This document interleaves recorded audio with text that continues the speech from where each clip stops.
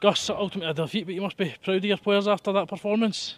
Yeah, I, I think frustrated as well. Um, I think we didn't start the game the way we would hoped. Um, we all say it was a poor goal that we lose. The first one, Rose will say it was an excellent goal, but um, we were feeling a wee bit sorry for ourselves. Could do better at the second goal, but that was a challenge to the players at half time. Um, you know, he was going to sit back and accept, you know, that that was the way the game was going to go. But credit to every single one of them. Uh, even the subs that have come on have had an impact in the game.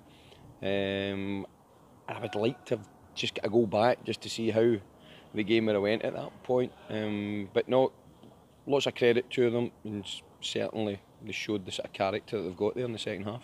It we've been here before, but on another day, enough chances created to score maybe three or four goals, particularly in the second half. Well, that's the pleasing thing that you you know you, create chances. Uh, I think the I was going to say the young lad Smith goals, but he's an experienced campaigner. He had two unbelievable saves.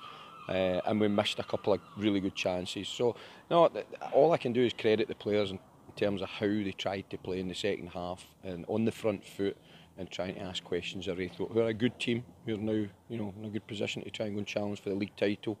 With the experience that they've got, the full time side up, they competed very, very well against them.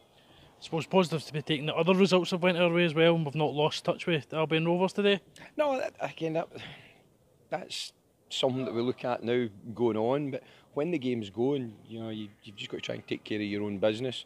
Um, but we should take plenty of positive from the game that they create chances. Uh, a team, this team's not lost at home all season in the league, so it was always going to be a tough ask for us. But no, credit to them how they applied themselves two huge games now, two almost cup finals, starting with Forfar away next week.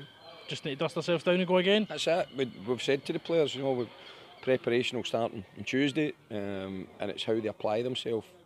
And they've set a standard now, really, in the second half. And I've not been able to criticise them too much this season. Uh, maybe three or four games we've not competed as well as we should have. But you know, certainly in the second half, that's the kind of standard that you hope you can take into the remaining games. Thanks, Gus. Cheers, Sean. Thank you. Okay.